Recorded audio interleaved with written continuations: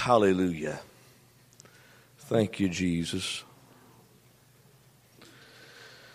Hallelujah.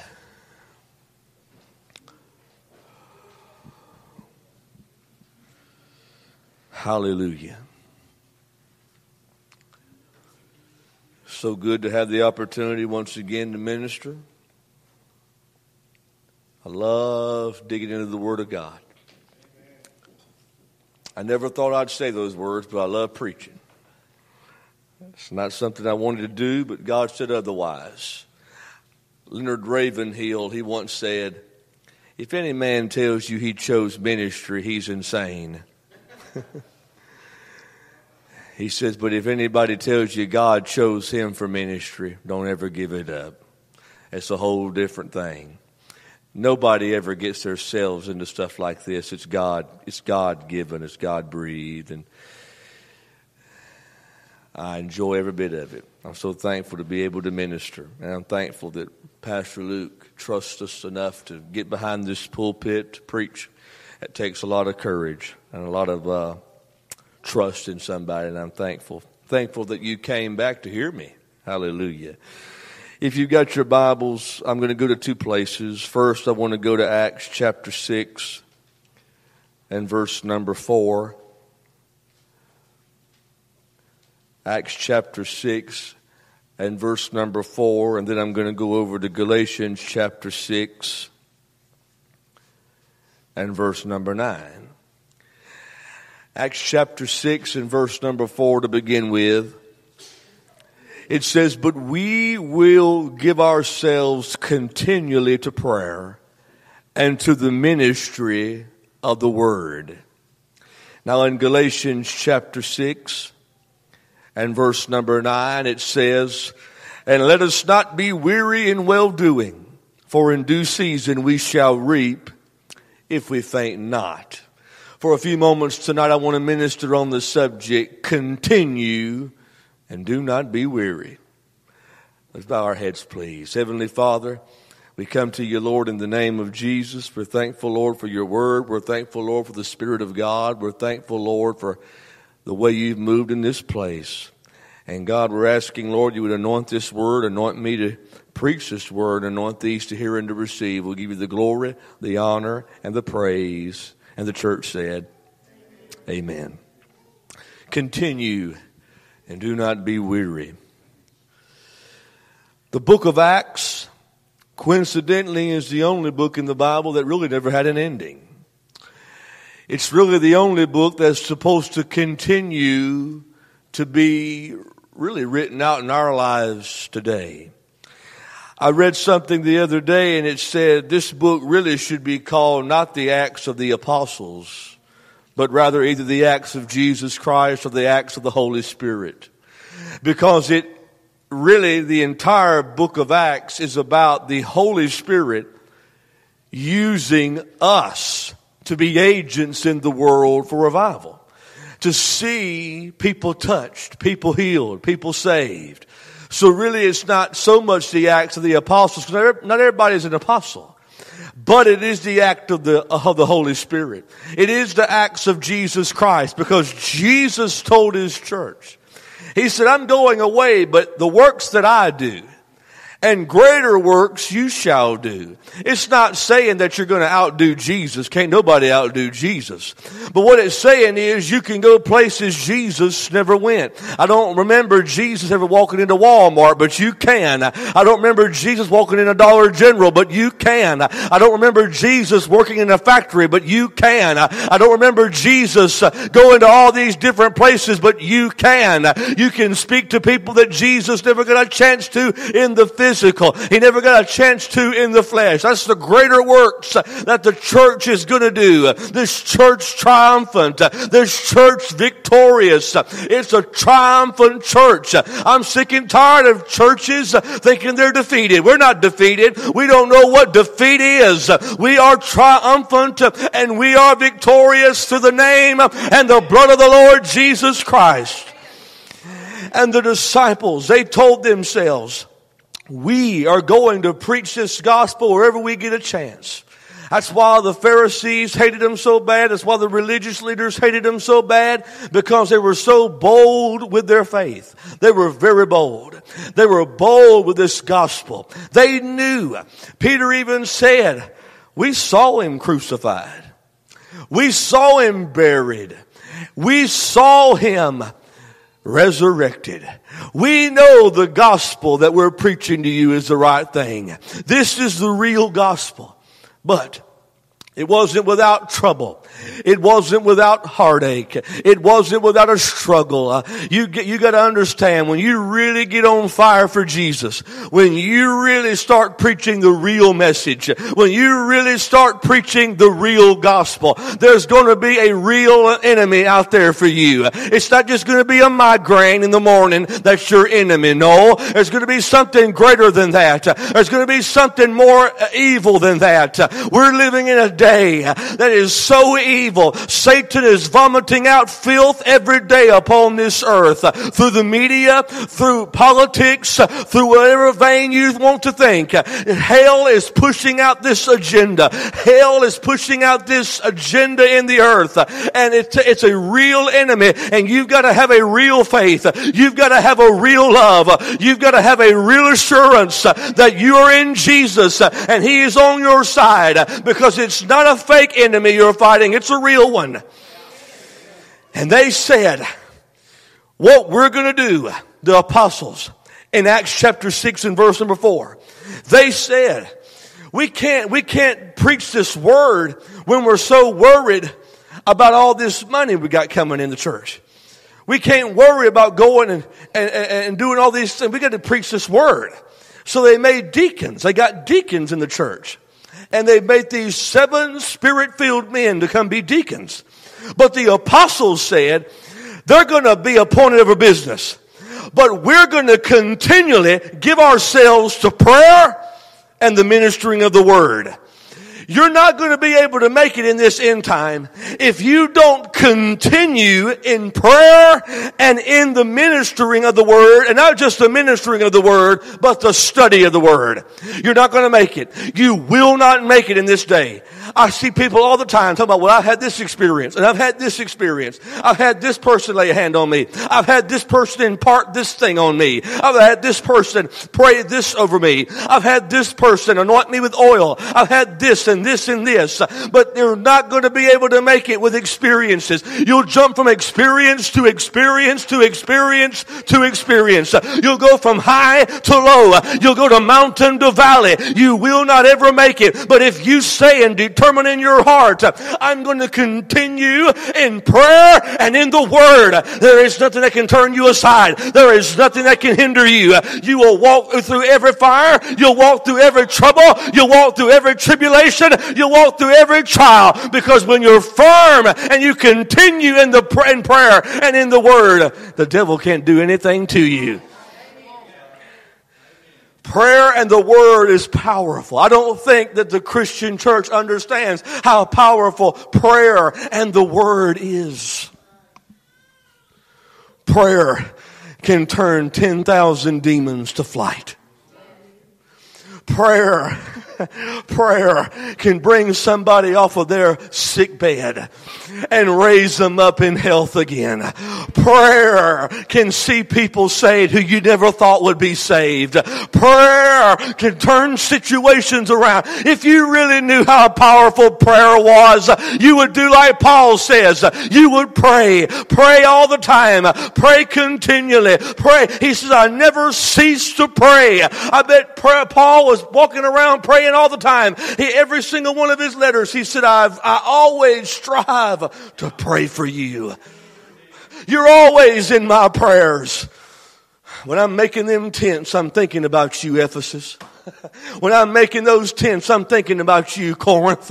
When I'm making those tents and I'm going on that ship to another city, I'm thinking about you, Thessalonica. When I'm going to, when I'm walking down that dusty road, I'm thinking about you, uh, you church in Rome. I'm thinking about, I'm praying for you. If you really believed, if you really believed that prayer could change things, you quit going to everybody else and you start praying yourself.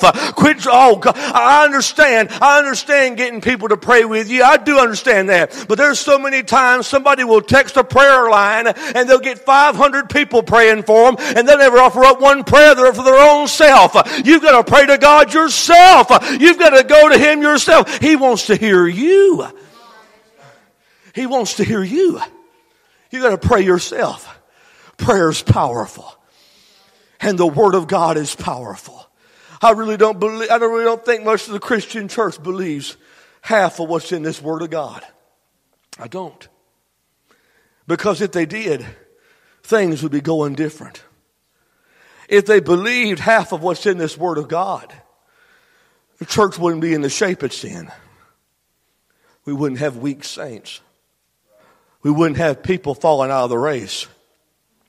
We wouldn't have people here one day and gone the next if you really believed in prayer, if you really believed in the study of the Word. How else? Prayer is communication between you and God. If you never talk to your spouse, there's not going to be much love there. There's not going to be much. If I married my wife and just sat on the other side of the room, let me tell you this. There was a couple that we knew. I didn't know them. I knew them, but I didn't know. I knew of them, but I didn't know them too well. And they got in a spat. And instead of divorcing one another, they went and built a wall up in the middle of the house. I, honest to God. He lived on one side and she lived on the other side, never talked to one another the rest of their life. He died on that side and she's still living on the other side. but if I did that to my wife, there ain't to be much going on. There's no communication. They won't, we won't know nothing about one another.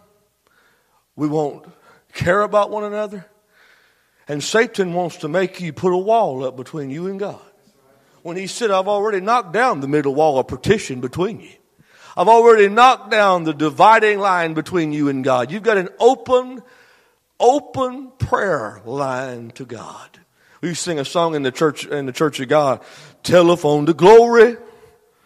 Oh, what joy divine. What's it, what's it, Tim?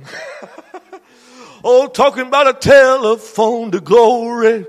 Oh, what joy divine. Well, I can hear calling down the, I see it. I don't know it anymore.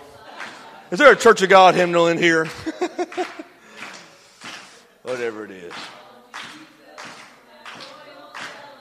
That's it. You got it better than I did. Now that's on YouTube for everybody to hear. Brother Wester forgot it. Well, Central's never busy. It's always on the line. I can call on Jesus almost anytime. You've got that prayer line anytime. He's never busy. He's never busy. He doesn't sleep. He doesn't take a vacation. He's there whenever you need him. You may not can get a hold of me to pray with you, but you can get a hold of Jesus. You can get a hold of King Jesus. You can get a hold of him in prayer. You've got to continue in prayer. Well, Jesus on the main line, tell him what you want. Jesus on the main line, tell him what you want. Talking about Jesus on the main line, tell him what you want. Oh, Jesus on the main line now. Well, call him up, call him up, tell him what you want. Oh, call him up.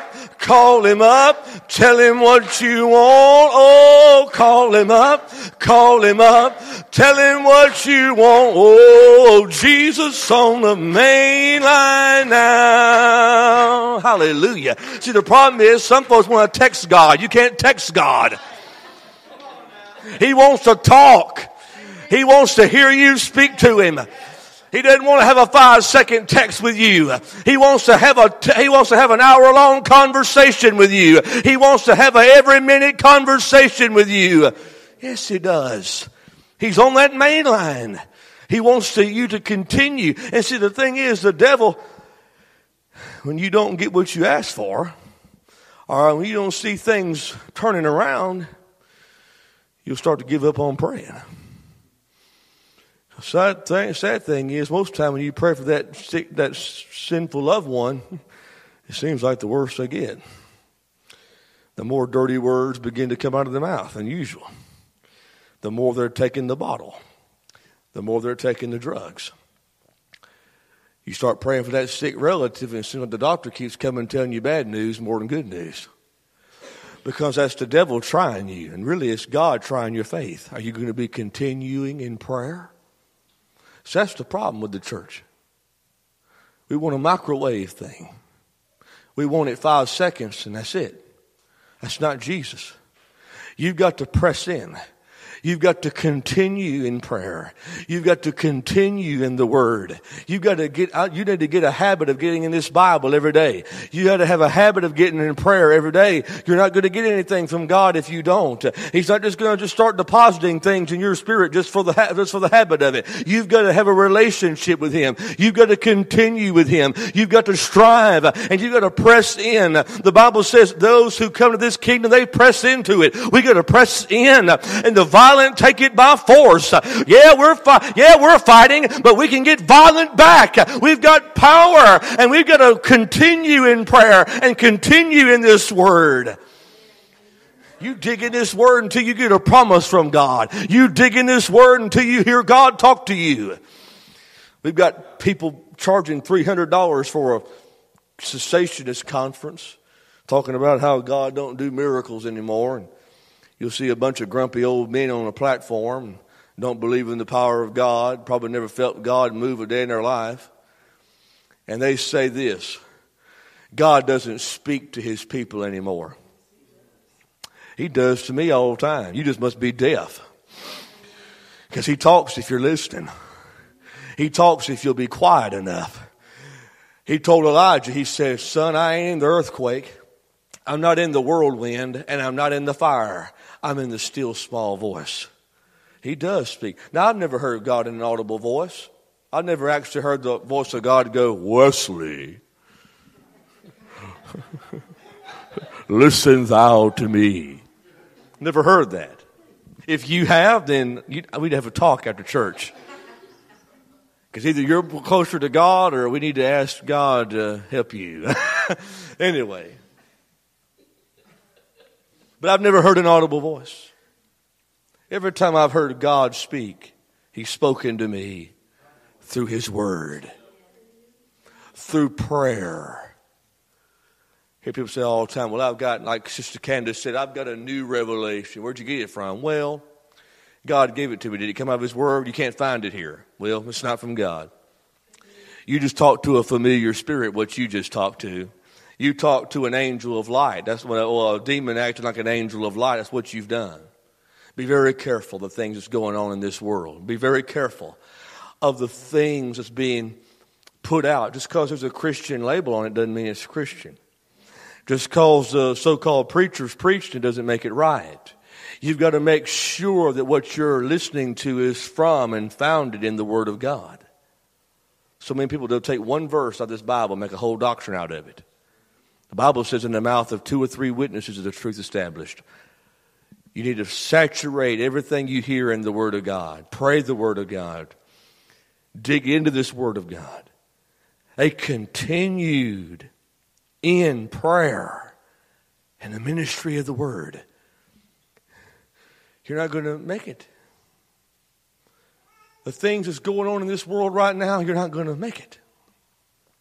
If you don't continue in prayer, and continue in the Word. What's going on in Israel right now is not just some consequence. What's going on in Israel right now is just not some quinky dink. No. Israel is God's prophetic time clock. And when things begin to start pumping up in Israel, you better start taking notice because that means the clock's getting ready to strike midnight and the bridegroom's getting ready to knock on the door. It's not just by co- coincidence these things are going on. He's getting ready to get us out of here. He's getting ready to bring forth a move of God that's going to rock this world. But if you don't continue in prayer and in the Word, you'll never see it. You'll never see the power of God manifested in the earth through you. You'll miss it. Because if you're not digging in prayer, if you're not digging in the Word, you'll miss it. You won't be ready. You'll be like the foolish virgins who went to sleep, just fell asleep and just coasted their way through. You got to continue. What does that mean? You got to strive even when you don't feel like it. The old saints used to say, push, pray until something happens. Continue in prayer, continue in the word. Can I say that enough tonight? Continue. He says, Any man puts his hand to the plow and looks back, he's not fit for the kingdom of God. You've got to continue in prayer and in the word. Continue. And it gets hard because you've got an enemy who will be there every morning when you want to get in that prayer closet, who gives you 500 reasons why you don't have time to get in that prayer closet. He'll give you 500 reasons why, well, God didn't hear you last time, so what's the chance He's going to hear you tonight? You, you read your Bible last week and didn't understand the words you said. What makes you think you're going to understand it tonight? But you got to continue. You've got to bring that flesh under subjection and you've got to continue. You've got to recognize that old man is dead. You've got a new life living in you and you need to continue. Galatians chapter 6 verse 9 says, Let us not be weary in well doing, for in due season we shall reap if we faint not. Paul is using agricultural terms. You can't expect to grow a pear tree if you don't go out there and plant seeds for pears. You can't expect to grow butter beans if you don't go out there and spread some seeds. You can't expect to grow anything unless you plant the seed for that particular plant.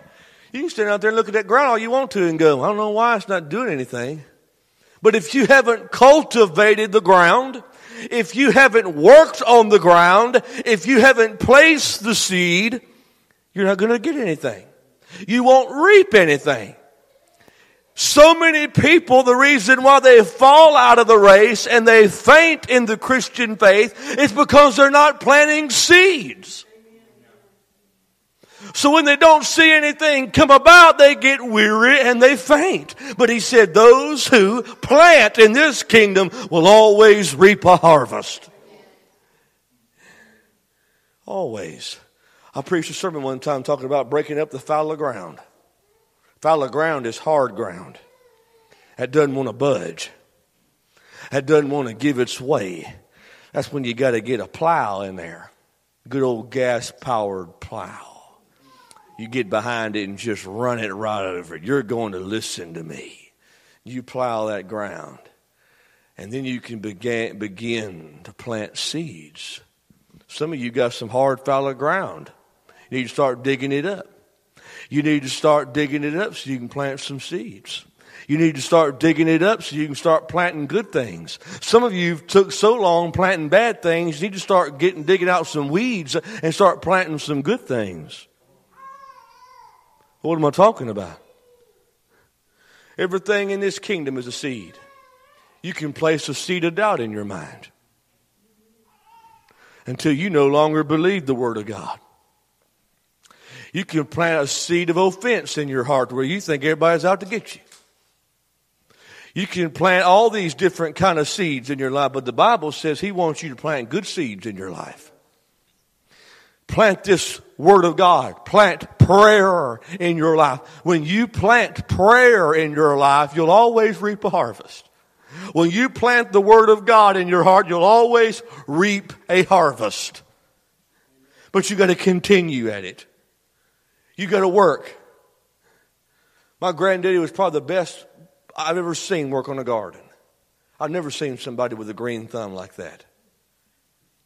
He could take a dead stick and turn it into a tree. I ain't lying. I've never seen nothing like it.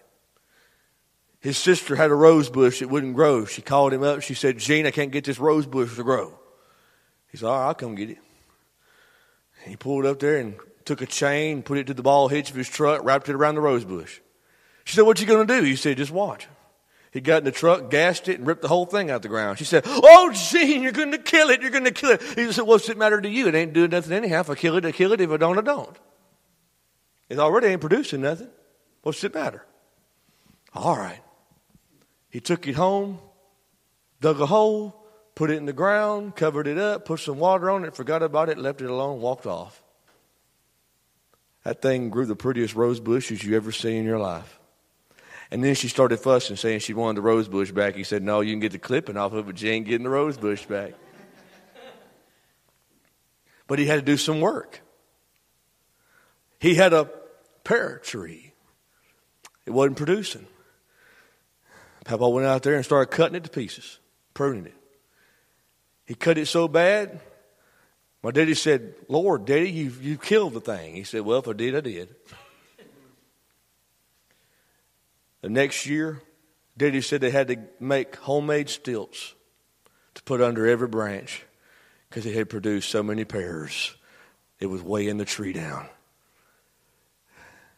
Some of us, the reason why we don't produce anything is because we don't plant anything. And a lot of times we don't cultivate what we've planted. We don't take care of it. What do I mean by that? We don't keep praying into you can't pray one prayer and expect things to change. Now sometimes you can pray one prayer and God just show up in the midst of it all and, and change. But sometimes it takes prayer after prayer after prayer after prayer after prayer after prayer after prayer and pruning that tree and pruning and prayer and prayer until finally you see something you've got to continue. You've got to continue. Because if you don't, you're going to get weary and you're going to faint. You're going to give up because you don't see anything happening. I'm giving my tithe, Brother Weston. I don't see my finances being blessed. Well, maybe God's not trying to bless your finances. Maybe He's trying to bless your home. Maybe He's trying to bless your spirit. Well, Brother Wes, I'm coming to church, but I don't, I don't feel the Spirit of God. It ain't, it ain't the Spirit's fault you're not feeling the Spirit of God. What are you doing Monday through Saturday?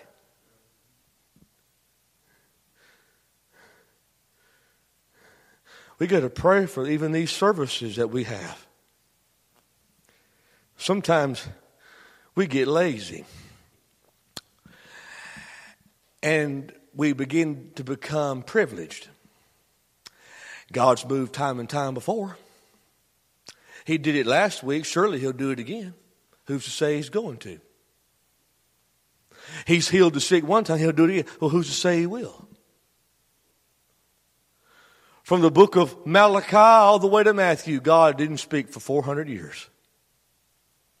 What if God quit coming into this building and we didn't know why? What if God quit speaking to us behind this pulpit and just.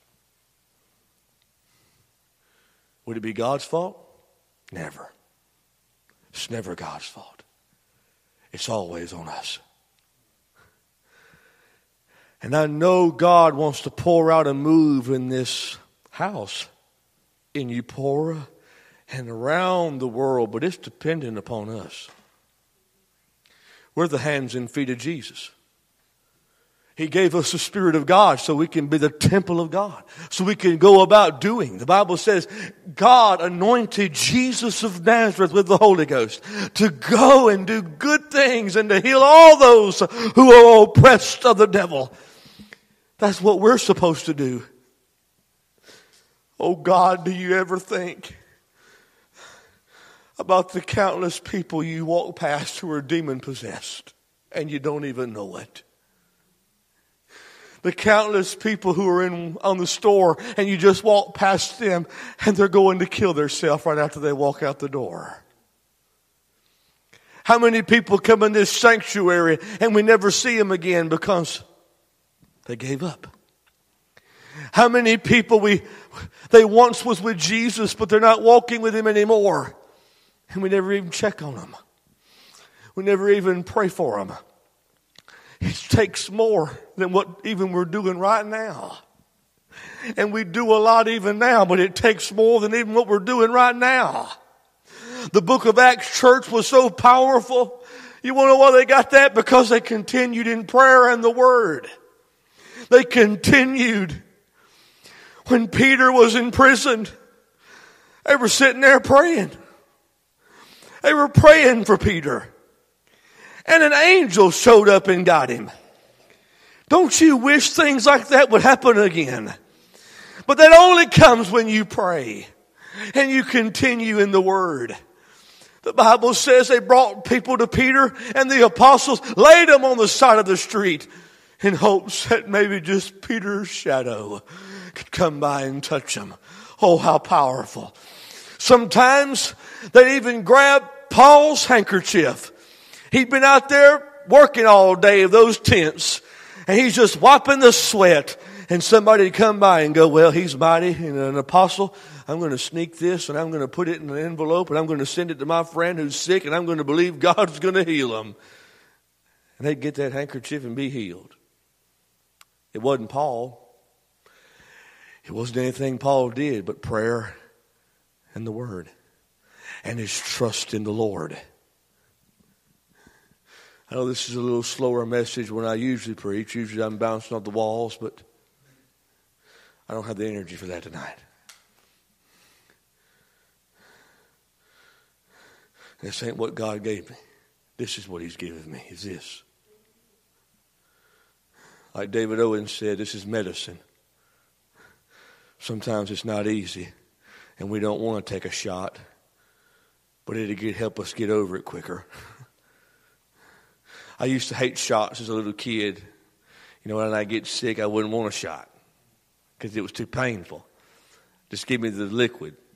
But I found the liquid made me stay sick a week and a half. If I took a shot, I was well by the end of the night. so I started just sucking it up and taking the shot. Some of us need to just suck it up and let God give us a spiritual shot. Take your dose of medicine. Sit, your, sit yourself down on that little bed and just let Him pop you one good time. Because God's medicine always works. I don't want to see this church, and I don't feel we're going in this direction. I'm just saying, this is just this is just my heart. This is a good church. I don't want to see this church get to a place to where we get so complacent.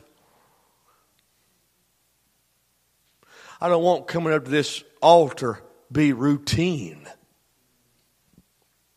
I don't want this to become just like Luke preached last week, common. I don't want it to be common. I want to be I want to I want it for it to be natural. But I want it to be anything but common. I want the world to look at it and go, I don't know what in the world's wrong with them, but I want what they got. I'm sick and tired of seeing alcoholics walk across that walk across that yard out there and not feeling a tug to come in. I'm sick and tired of seeing people lost out there and not feeling a tug to come in. You know how we get that? Prayer and the Word. We continue in prayer and the Word. I know it's hard sometimes when God wakes you up at 2 o'clock in the morning you're tired and He tells you to pray. But somebody's life may be hanging in the balance at 2 in the morning. And you may be the only one God can get woke up to pray. I know it's hard to come here on a Sunday night when we're all tired and we'd rather be at the house. But there may be souls hanging in the balance that are needing us right now at these altars to pray them through. And we're the only church that's calling out their name. You want to see a book of Acts experience again, you better start acting like a book of Acts church.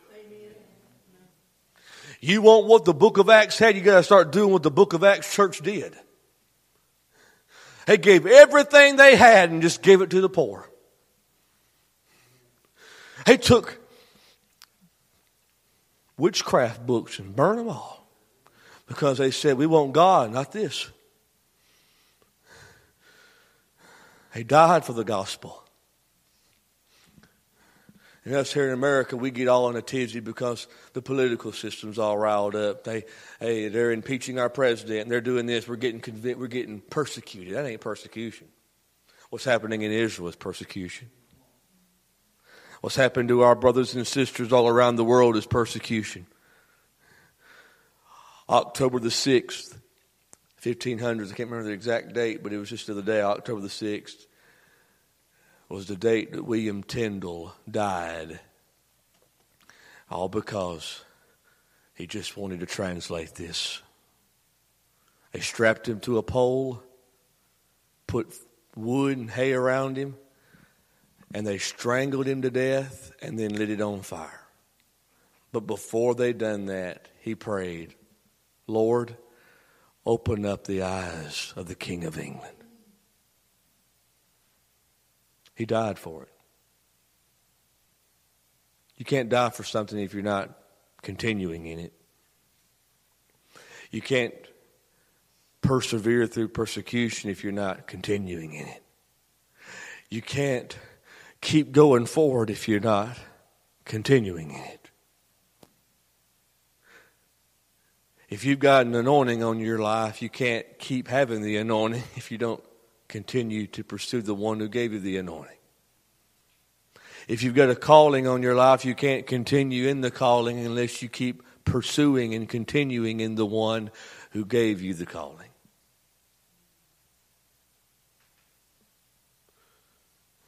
I'm glad people come to me and ask me questions, but don't just always come to me. Go to Jesus. I'm not God's authority on all things. I'm not God's voice on all things. Sometimes you need to go to God yourself. I don't have all the answers. I don't have all the the. Uh, uh, uh I don't have everything for you. You got to continue in prayer and the Word. You're not going to make it. You young people ain't going to make it without getting in prayer and the Word. I'd hate to see this youth group fizzle out because it didn't continue in prayer and the Word. I'd hate to see any of us fizzle out because we didn't continue in the prayer and in the Word. It's hard. One of the young people told me I ain't gonna say the name because I don't I don't feel like doing that, but one of them told me the other day, I don't know how I can do it. Being in school and having to get good grades and and then getting my Bible and pray. It's heavy on me. The only way you're going to make it is continue in prayer and in word. This word has to become real to you. Prayer has to become precious to you. Do you love talking to Jesus? Or is it just a religious thing you do just to get by, just to save your conscience? You don't want to make him mad at you, so you pray and you feel like if you don't pray, you're less of a Christian and, and he's going to be angry at you and you want to keep the blessing over your home, so you pray over your meal and you pray before you go to bed in case something might happen in the middle of the night. You want to make sure you've got some insurance. That's not what he wants. He wants you to love talking to him. Because guess what? He loves talking to you. He longs for it. And my heart has been so burdened here recently to give up things to go in prayer and in the Word. And they're not sins. Don't get me wrong. The things I'm talking about isn't sins, but it's taking up time time that I could be talking with Him, time that I could be reading His Word. He loves talking to you. He says his ears bent down near to the earth. He's ready to hear. I can imagine his heart begins to every time you call his name. when he hears you call his name, he says, There's my child again. I don't know about you, but I love hearing my boy call my name. I love hearing him wake up in the morning and say, Daddy. And I know my Father in heaven loves hearing me say, Father. He loves it. And you got to start making prayer precious to you. You need to start praying more than anything. You need to begin to pray more than you ever have. Because I'm going to tell you, it ain't getting no better. Trump's not going to fix this. Biden's not going to fix this. America can't fix this. But prayer can. We just sang about it. Paul and Silas, they're in that jail. But they prayed and sang, and the walls started shaking. There's power in prayer. But do you believe that? Is prayer precious to you? Or is it just something you do? Has the word become precious to you? The Bible says you can't live by bread alone, but by every word that proceeds out of the mouth of God. He's telling you, you can't go make it without my word.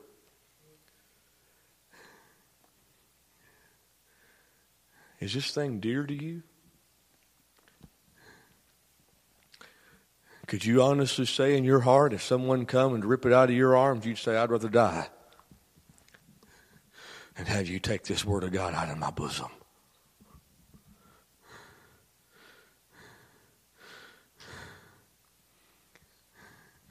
Old saints used to take it everywhere they went. They go to the store, it's right there. Get in the car, it's right here. Everywhere they went, it's right here. It's just like David prayed, I've hid my word in my in your heart that I might not sin against you, God. Has it become dear?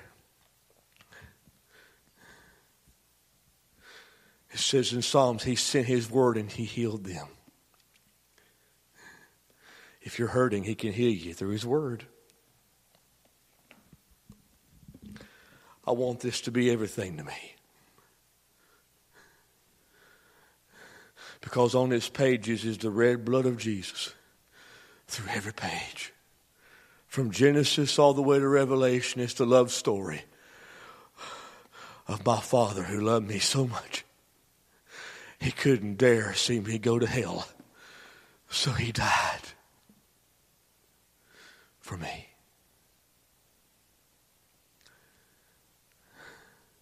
I preached at God's House of Hope at Clinton last Monday, and I left, and I felt like it didn't do anything. I felt a little discouraged. I got in my vehicle, and I started going down the road, and I said, Lord, I don't understand. They're not receiving it. And the Lord began to speak to me and say, You need to give them the milk of the Word, the milk of the Word. And I started thinking, What's the milk of the Word?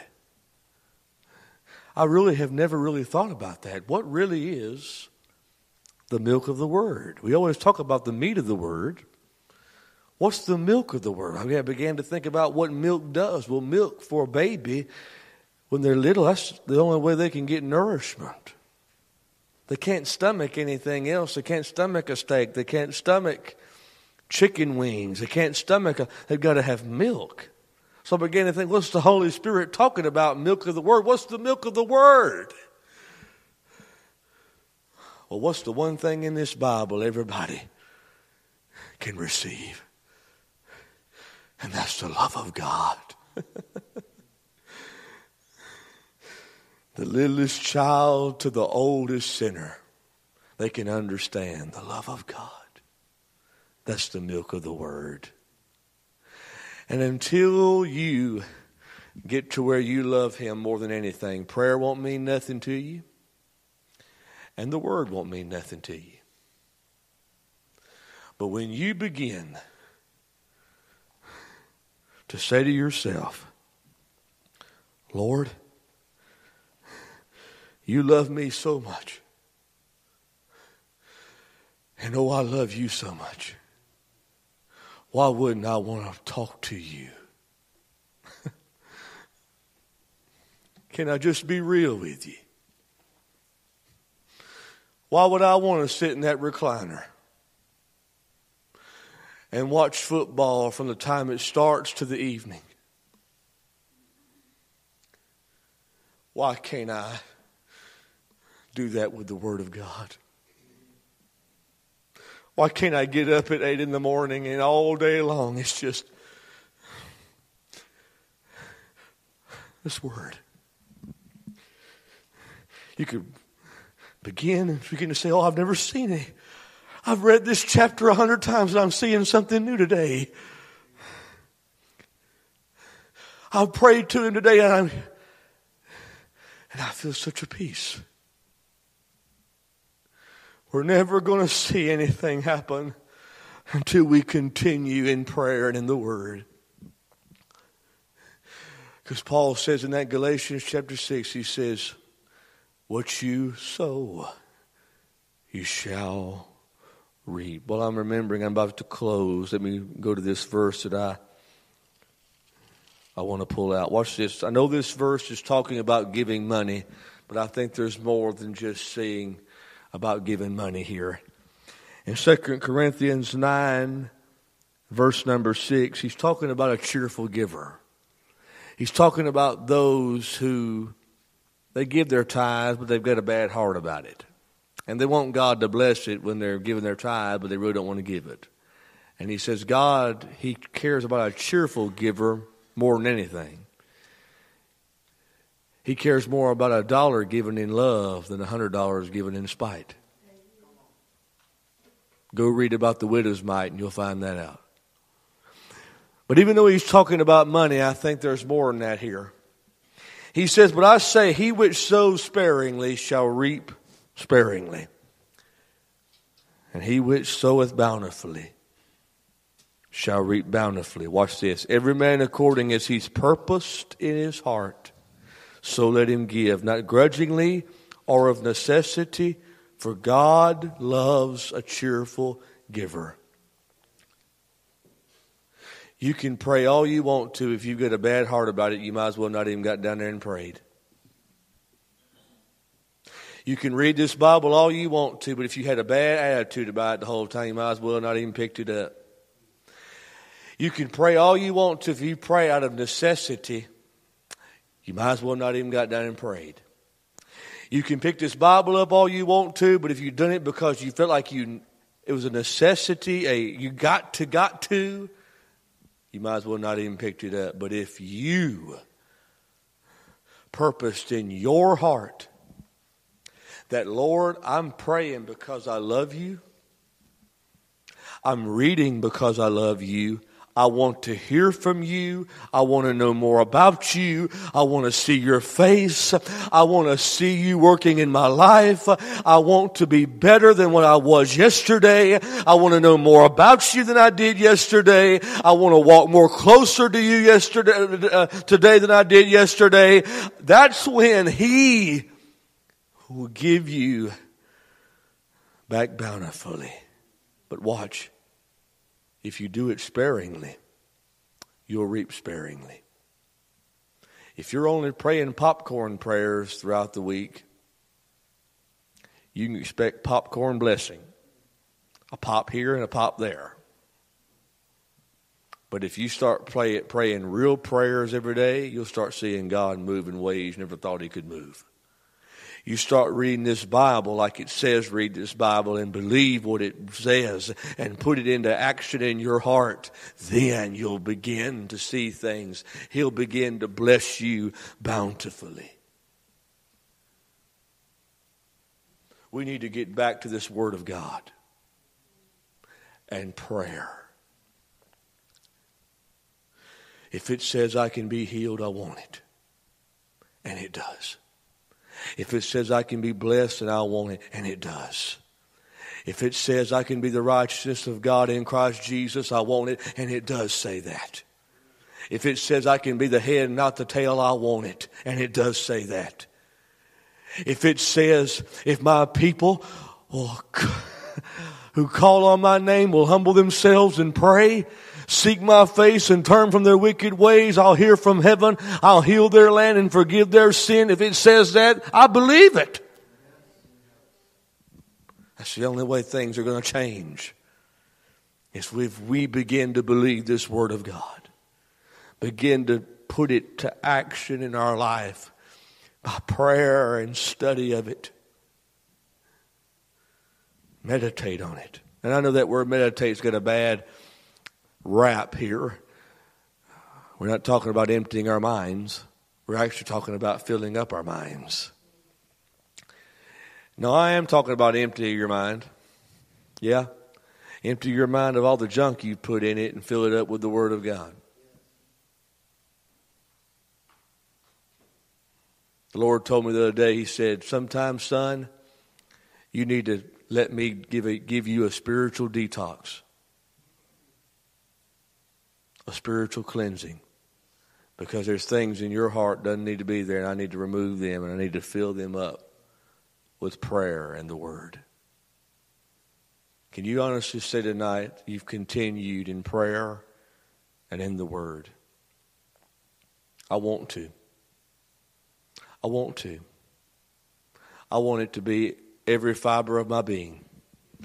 I want this life to be me in all aspects. I don't want to be one person in here and one person out. No, I want to pray and I want to read this Bible, not because I have to, but because I want to. Because I want to.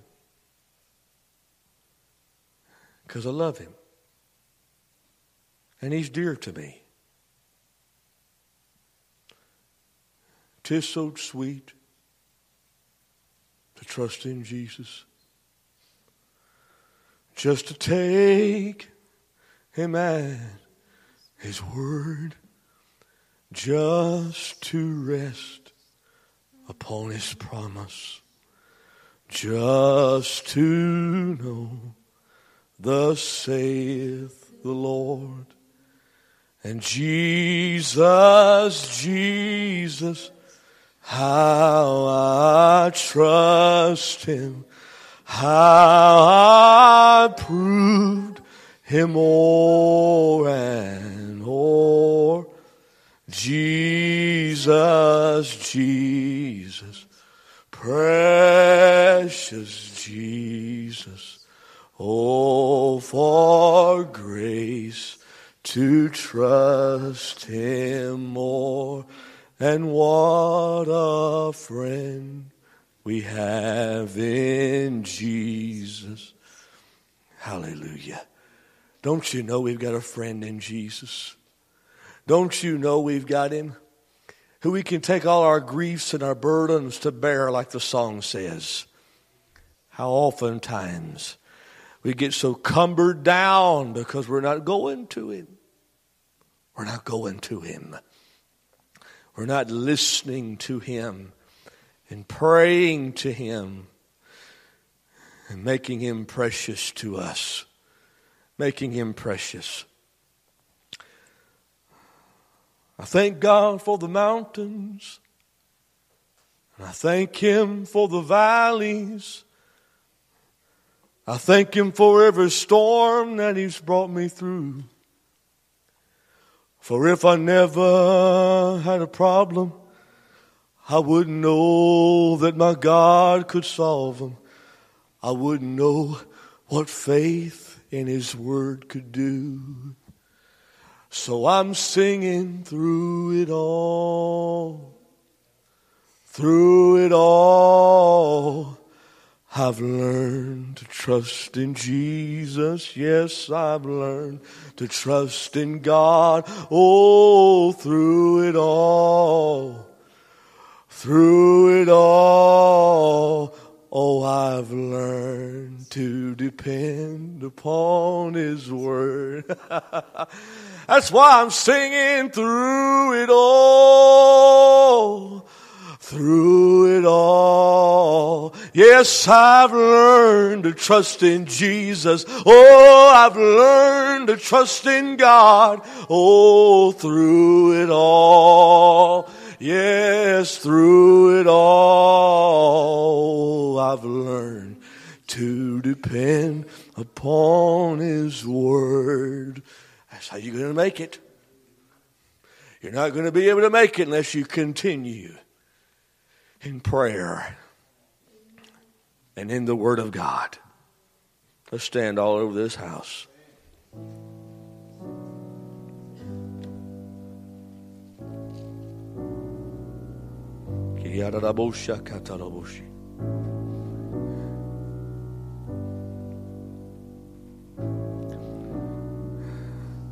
I've just been real convicted here lately. Know, we say we believe this Word of God, but do we really?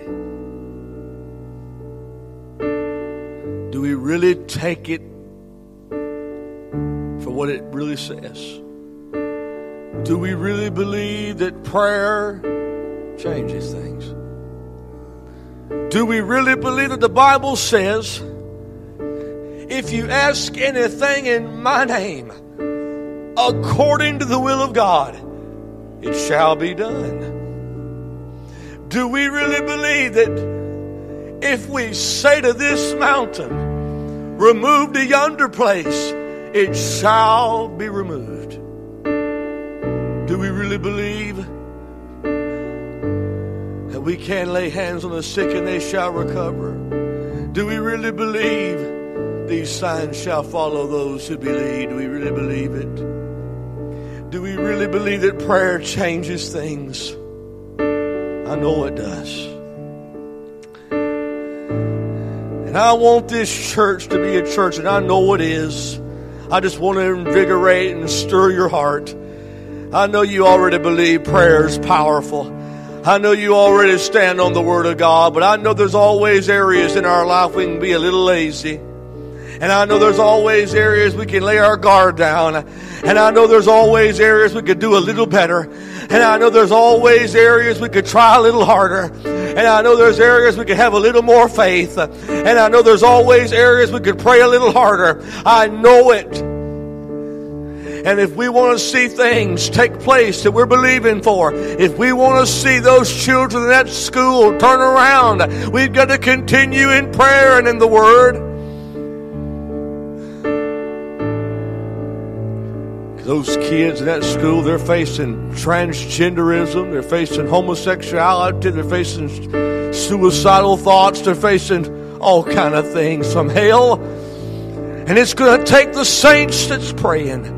It's going to take the saints who believe the word of God that says, those who stand upon this rock, the gates of hell shall not prevail. Do I got a group of people on a Sunday night that believe hell can't prevail against you? Do I got a group of people on a Sunday night that believe when you pray, hell shakes? Do I got a group of people on a Sunday night that believe when you stand on the Word of God, angels come to your rescue? Do I, be- do I have a group of people tonight that believe when you stand in faith, when you lock arms with your brother? He says, when two or three are gathered together, I'm in the midst of thee.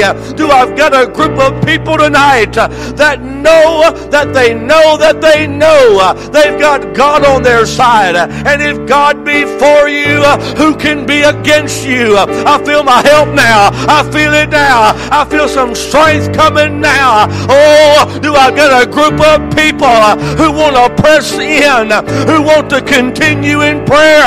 I know it's late. I know I'm I am ready to go home. I am ready to get into bed. Some of you are tired. You've got a long ride. But do I got some people on a Sunday night that are ready to continue to get in these altars and continue in prayer and pray and stand upon the Word of God? Oh,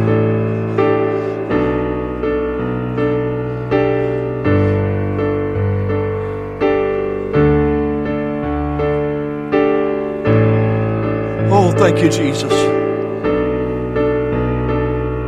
Oh, thank you, Jesus. Oh, thank you, Jesus.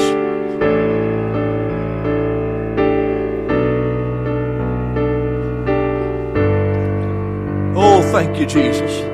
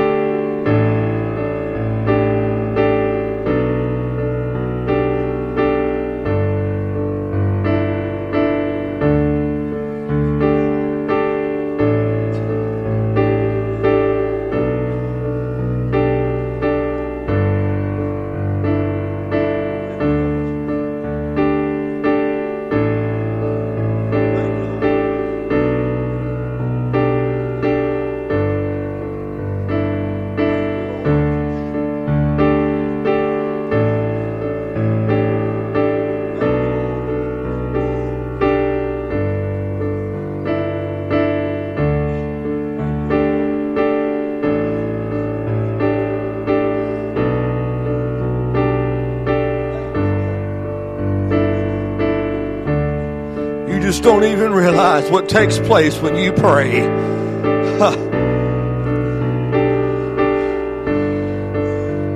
when you pray in the name of Jesus, every angel in heaven begins to perk, perk up. They know you're warring in the spirit. They know you're calling on the name above every name. Let's begin to pray for our brothers and sisters over there in Israel. They may be out of the covenant, but they're still God's people. Oh God, we come to you on behalf of your children. God, Israel is your land. You said those who bless them, you'll bless. Those who curse them, you'll curse. God, we know you're going to bring them back to you. We know you're going to bring Israel back to you. God, in the meantime, Lord, let your angels guard over that city. As the psalmist said, we're praying for the peace of Jerusalem. God, let their enemies be scattered. Lord, let their enemies fall. Lord, let your people rise up. Let them fight and let them be victorious. Jesus, Jesus, Jesus. Hallelujah. We pray for this city. God, we pray for Eupora. God, we pray. We're asking you, Lord, send a revival. Send a revival. Send a wave of your glory through that school October the 19th at 5:30 in the afternoon. God, let your spirit invade that auditorium. God, let your spirit invade that building. We are believing it in faith even now before we ever even see it. For your word says faith. it's the evidence of things not seen. Lord, we are believing even though we don't see it. We do believe you're working even when we don't see it. Hallelujah. God, there's going to be kids there who need Jesus. Let them see Jesus.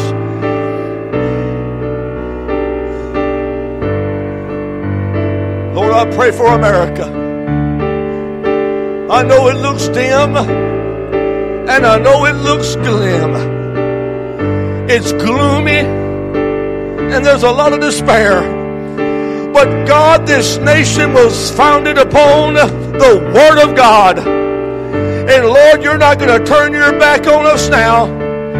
There is a remnant, there is a people who believe in you, who believe in prayer, who still stand upon the Word of God, who still hold up high the blood-stained banner of the Lord.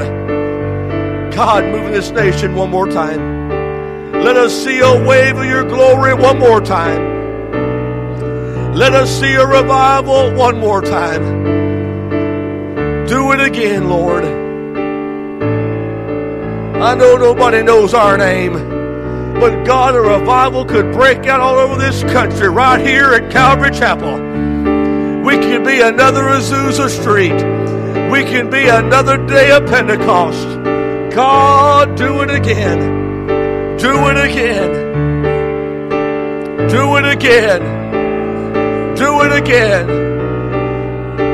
Your word, we're believing the word tonight, and your word says you are the same yesterday, today, and forever. You change not. We are believing. Glory to God, glory to God, glory to God. Thank you, Jesus.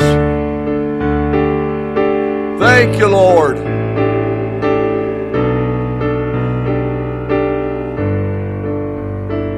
Glory to God.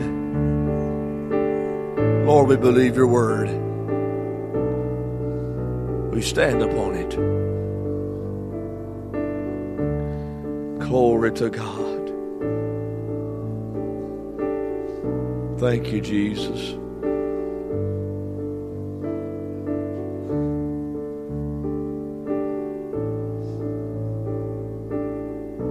Paul says Jesus is coming back for a bride spotless. You know how he's going to wash her to make her spotless? With his word. James says this word of God is like a mirror. You look in it, it tells you exactly who you are. Most of the time, it ain't good. But a foolish man is somebody who looks in that mirror, oh, I know it says that about me. Turn around, walks away, and he forgets everything he said. Everything that mirror said. You can have a cancer on your face, and that mirror will tell you, but if you walk away and forget all about it, what's it going to do? You got to go to a surgeon, a doctor who'll help you out. That's the Holy Ghost. When the Word begins to reveal something to you and wash you, then comes the Holy Ghost surgeon. Says, I'll do surgery on you right now. I can get it out of you just like that. I'll take it out of you. I'll pull that iniquity out of you. I know you don't like that person, but I'll pull that out of you. And sooner or later, you'll have joy in your heart that person. I know you don't know how to love that person, but I'll take that hate out of you and I'll put love in. But that only happens when you're in the Word of God and you're in prayer. You won't know how to fight the devil if you're not in prayer and in the Word. You know, it's an utter shame. And we got Halloween coming up. It's an utter shame that we've got people who believe more in the devil and the things he can do than in what God can do. They're scared of walking under a ladder. They're scared of breaking the mirror. They're scared of their black cat coming across the road. They're scared of putting a hat on the bed. They're scared of all this garbage. They ain't got any power or nothing in it, but they don't believe the Word of God. And it's a shame we've got people all over this country who will sit here and pray for the devil all night long, literally. If you don't think there's witches in America, you you don't know what you're talking about. They are people who devote their life to the devil, who, who are satanic, who devote their life to the devil and pray to him. Pray for these agendas to be brought forth. Pray. They're praying every day that there's a drag queen that comes to Eupora high school. Yeah, they are. They're praying that every day. There's people that believe that there's got to be a church somewhere that believes we've got the devil under our feet. And we've got a church somewhere that'll believe God has defeated the enemy. But you got to believe. And you got to pray. And get in that word. That's my charge to the church tonight more than anything else, begin to continue in prayer and the Word. If we begin to seek manifestations, and I'm all for manifestations of the Spirit, God manifests Himself to us the only way you can see Him when He when He moves, when He manifests Himself to us. Manifests himself in tears. He manifests himself in, in the glory and the healings and the miracles. That's how he manifests. He shows you, I'm here, I'm in the midst of you in manifestation. But when you begin to seek those things and not prayer and the word, you'll become a mystic and a fanatic. We've got to be grounded in this word of God. That's why we got people thinking they're demon possessed. They're a child of God. No, they don't know the word of God. I've had troubles in my life, but I've never thought I was demon possessed because I knew the word. I know I've got a God greater than any demon in me. And Jesus doesn't share a hotel or a room with anybody. When He comes in your heart, He takes up residence. He kicks the devil out. Eviction notice now. He don't even give him time to pack the bags. He kicks him out and throws the bags out after. Because even when the devil leaves, you still got some baggage in there. But piece after piece, he throws them out. We got to get back into prayer and the Word. Don't be weary in that. It gets hard to pray and get in that Bible, but don't grow weary. Continue. Paul also said in Galatians, he said, You did run well. Who did hinder you? Keep fighting. Keep pressing. Lord, we love you. We thank you, Jesus, for what you've done in this house. I thank you, Lord, for your spirit. I thank you for your word, even though I may have stumbled across it. Lord, I thank you. Lord, I pray that even now that the people here will begin to have a hunger and a thirst for prayer and the word. God, let prayer and the study of the Word be everything to them. But above all, Lord, let us learn to love you. God, I want to love you more than I have. And I know I'll never be able to love you like you love me. But I'm going I want to try my best. Lord, help me and help this body of believers. And God, as we love you, God, help us love one another. Help us love one another. Help us love our neighbor as ourself. Lord, we thank you for this day. We thank you for what you've done today.